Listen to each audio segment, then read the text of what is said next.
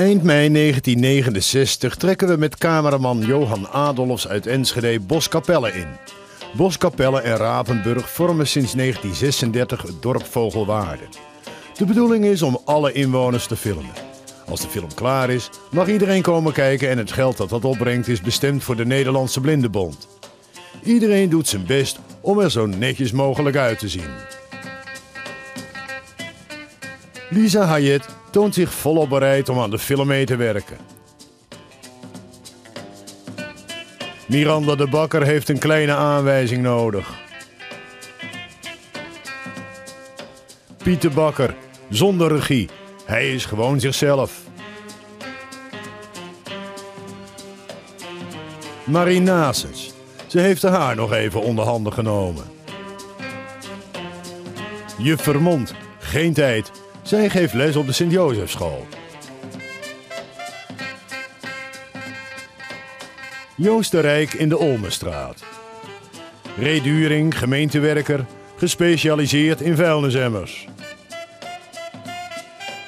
Links Ria Picavet met Brigitte van Dijk.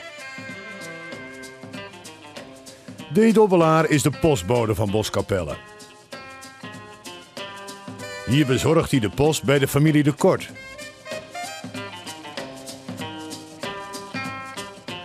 Mevrouw Roktus woont ook in de Olmenstraat. Net zoals Emma Vink.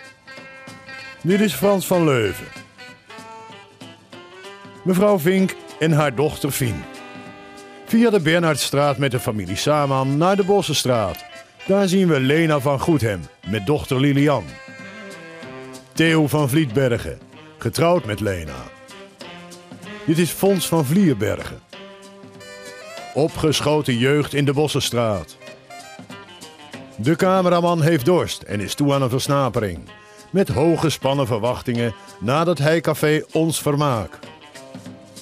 Joke en Teun van Schijk zijn de uitbaters van ons vermaak.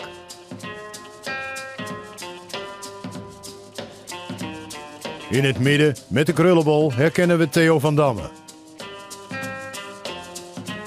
De mannen zijn aan het tritsen, een geliefd dobbelspel. Ponneke, oftewel Florimon Dankaart. Hij gaat voor Why van de Kids of misschien wel de troubadour van Lenny Koer.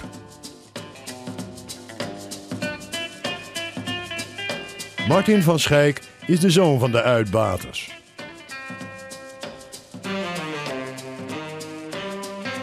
Behalve van muziek heeft Ponneke ook verstand van biljarten. Hier speelt hij een partijtje met Adrie van Dijk. Op het schoolplein zien we Otto Vosveld. Otto is maatschappelijk werker met een volksdansverleden. In zijn vrije tijd heeft hij hier een volksdansgroep opgericht. En de eerste dans die ze instudeerde was een Israëlische dans. En daarom hebben ze de groep Hava Nagila genoemd. Otto Vosveld werkt sinds 1966 als gemeenschapswerker in dienst van de Stichting Maatschappelijk Werk. Vol enthousiasme en inzet begeleidt hij allerlei verenigingen. Harry Mel in de Schoolstraat. Farielle Mattens met haar zus Tante Nonneke Mattens. Joep Kappendijk op de hoek van de Schoolstraat en de Bossenstraat. René van Dijk met zijn vrouw Amélie. As van Dijk, die drukt zich in beeld. Van achter zijn eigen vrouw, Mieke Schelfhout.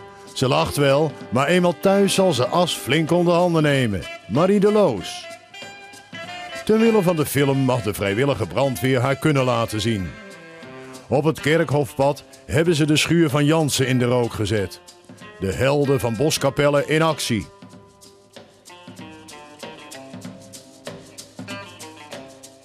Omdat het hier niet echt is, mag er gelachen worden.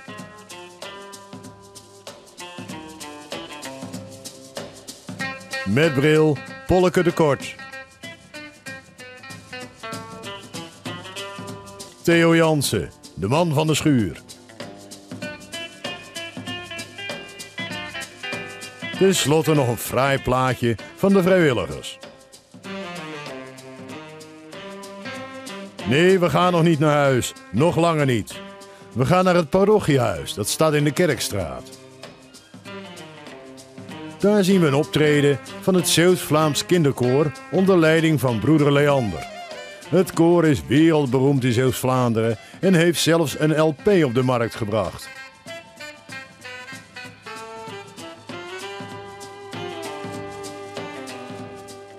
Eind jaren 60. Voor de jeugd is er steeds meer aandacht.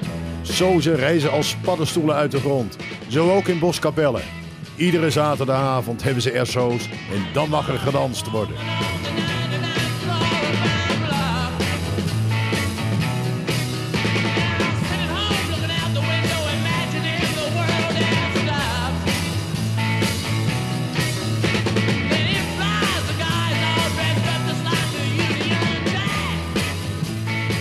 Eddie During draait de plaatjes.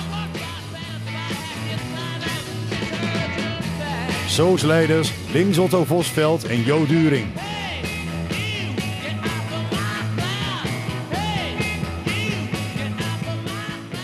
Kees van Damme is de oefenmeester van de accordeonvereniging Con Amore.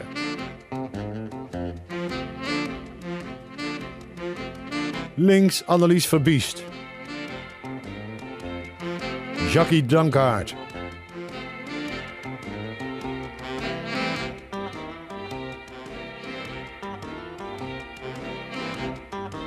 Op de zolder van het parochiehuis is het Walhalla. Daar kunnen de katholieke jongeren zich op allerlei terreinen uitleven. Ria Erpeling. Ramonda de Schipper. Robert de Klerk. Jongeren bezig met het ontplooien van hun creativiteit. Groepswerk ook heel belangrijk. Samen collages maken onder de inspirerende leiding van Otto Vosveld. Lied Erpeling. Paul Remery en Winnie Vink. Eddie Lambert. Links Henny van Dijk met George van Damme en Frans Saman. Zij playbacken hun popidolen. Kent u het nog, de visnetten met de kerstboomversiering op de achtergrond? Arnold da Silva met zijn pick-up en buisradio.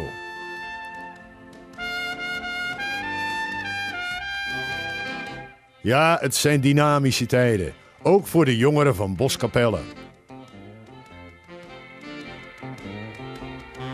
Vanuit het Walhalla terug op aarde. Toon Stallaert is uitbater van Café de Kroon in de Bossenstraat. In zijn zaak zien we hem bezig op het toebiljart. Nelly Baart voorziet daar sinds jaar en dag haar klanten van versnaperingen. Wethouder Fons de Bakker. Dochter Mariette Stallaert, die doet het goed achter de tap. Toon Gelderland, fervent toebiljarter. Freek Siraris, fervent bierliefhebber. Net zoals Theo Muller. Ja, de Bossenaren weten wat genieten is. Zo hebben we binnen kunnen kijken in hun dorp waar de dag besloten wordt met een muzikale rondgang.